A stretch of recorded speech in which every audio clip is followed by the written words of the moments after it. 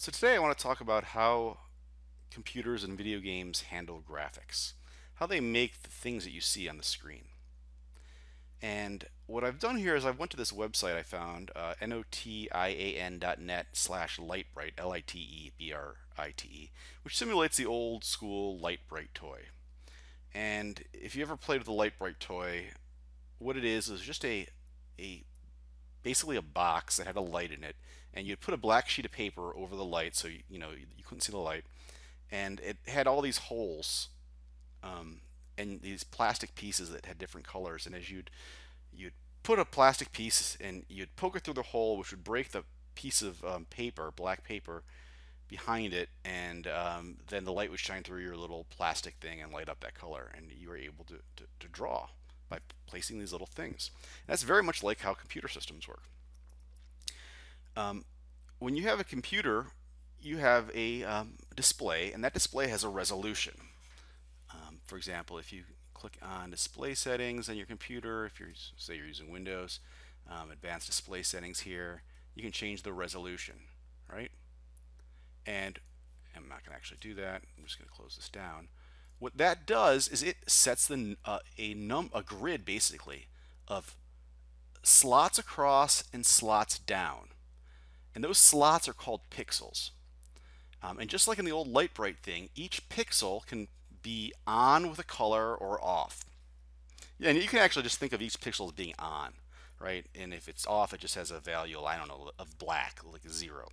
And each of these pixels has a color value. So again, it might be off, it might be uh, black, it would be zero.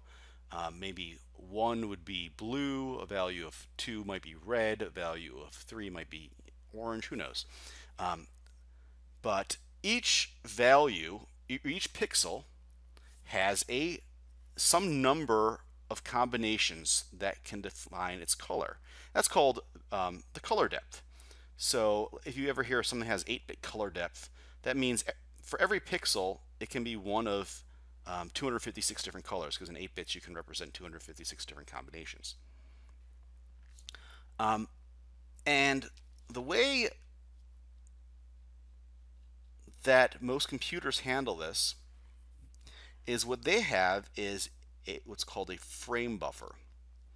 And a frame buffer is just a bunch of memory and each memory location or um, let's just assume like 8-bit memory and 8-bit memory, 8-bit uh, words in your in your memory. Each memory location corresponds to a pixel. So let's say your frame buffer starts at address zero. Um, this pixel here might be zero, and if it's turned off or if it's black, its value at address zero is zero. This pixel might be address one, and if uh, it was black, the value at one would be zero. But let's say I want to turn it on to blue, I might put a put a one in there. This pixel here, maybe I'll put a one in there too. So so address we have address zero, address one, address two. You know these guys are turned on. They would have each a one in their in their in their um, RAM, their frame buffer RAM location. This next one, address three. Let's say we had put a um, uh, let's say we put this color in there, green. And that might be 0, 1, 2, 3, 4, 5, 6, 7, maybe color value 7. And, and this is exactly what's happening. When your computer wants to draw something, it has to figure out, it, it kind of makes a grid. Um, well, the, the software that's drawing the picture figures out, you know, the, the grid and what grid locations it wants to light up and what colors to make the picture that it's trying to draw, right? So if it's trying to draw like a little um, whatever this is called, parallelogram, I think, um, it might light up these various memory locations, memory 1, 2, 3, 4, um, not 5, 6, 7, 8, 9, whatever, whatever this memory location is, and then this one, and this one, and this one, and this one. Um, if it wanted to draw a B, it might do something like this. So the computer has to um, figure out a grid and how that will, will, will appear to the user and then turn on the, the, the so that is, they have, it has to write specific values, color values, into the different memory locations to turn those those lights on. And old computers up until probably the late 90s, they literally did this. Old video games would have to figure out what the screen would look like and, and, turn on each location as something would move across the screen it would have to turn on pixels and then turn them off as you know as a little character moves across the screen um, to give you that that sense of animation um, and that's a very expensive process because each of these turning something on is actually a RAM write it's an update so if I wanted to let's say move this this actually let's let's go back to here let's say I just wanted to animate a dot going across a screen well, the first thing I have to do is color everything to the background color. Let's say that's black. So if I have 1, 2, 3, 4, 5, 6, 7, 8, 9, 10, 11, 12, 13, 14, 15, 16, 17, 18, 19, 20, 21, 22, 23, 24, 25, 26, 27, 28, 29, 30, 31, 32 um, dots across. And we have 1, 2, 3, 4, 5, 6, 7, 8, 9, 10, 11, 12, 13, 14, 15, 16, 17, 18. So I have 32 by 18.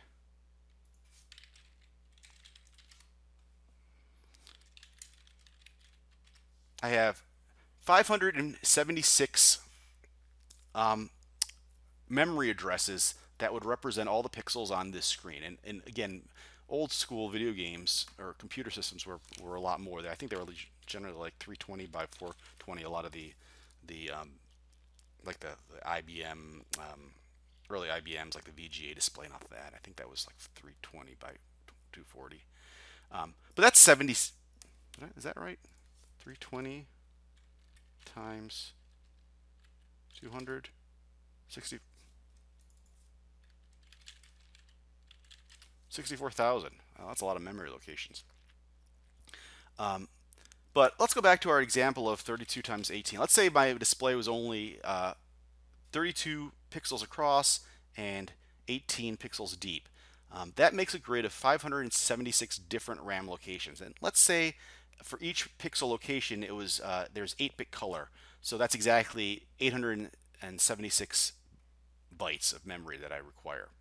So again, we're going to start out here at zero, um, and then we'll go across, you know, one, two, three, four, and then we go down.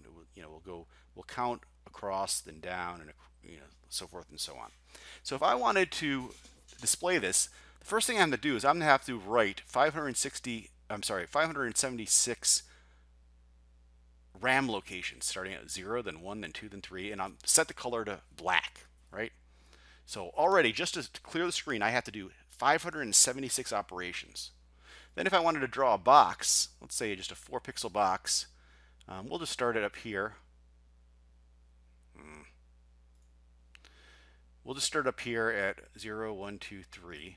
We'll do these guys, right? So RAM location 3, 4, this would be 32, 33, 34, 35, and 36. We're going to turn on, right?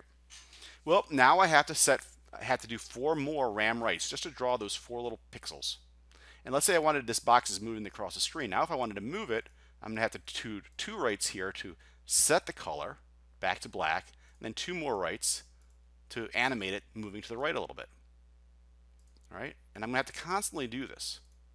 This is extremely um, and especially you know your your your images are going to be much more than four pixels right this is an extremely expensive operation you're going to spend a, um, almost all your CPU time at least the old old school computers like the Z80s and the um, 6502s just just updating your your frame buffer so um,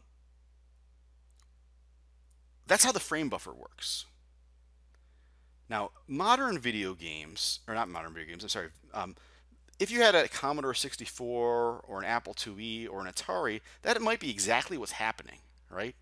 Um, that might be exactly what's happening when you play a video game. Um, when it needs to draw a little person or whatever, needs to clear the screen, then draw the icons. All right, little smiley face here.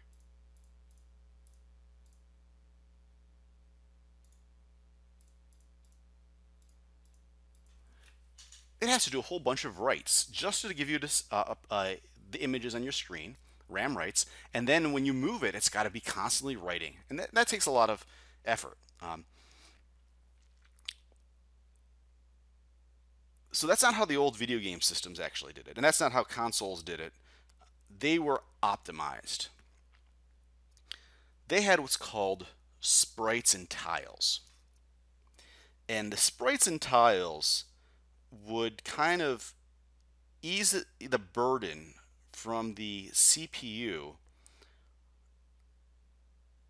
and what it, the, the, the, systems would generally have dedicated hardware that would offload a lot of this work for it. Okay. And making the, the CPU's job much easier. I always wondered when I was you know, younger why, like, you know, I had an Apple IIe and it had a 6502 processor. Um, and, you know, the, the, the, arcade games were so much more amazing. I mean, I love my Apple IIe, don't get me wrong. But the graphics were so much more amazing on the the the actual arcade games. I never could understand why that was uh, until because I was very young back then. I didn't understand how all this worked. But um, a lot of the old arcade games, like Centipede, one of my favorite games, Crystal Castles, um, Millipede, they used the exact same processor as the Apple IIe, the 6502. And, you know, so I was always like, why? With the exact same processor, why are the arcade games so much better? And the answer is um, kind of like 3D cards for modern computers make a huge difference because they're actually handling all the processing. The old arcade games had dedicated hardware to specifically handle drawing things to the screen and updating it very efficiently.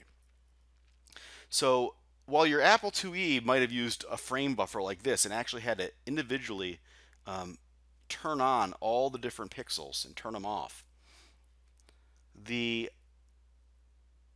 arcade games and the consoles of the time, they kind of cheated. They had um, help.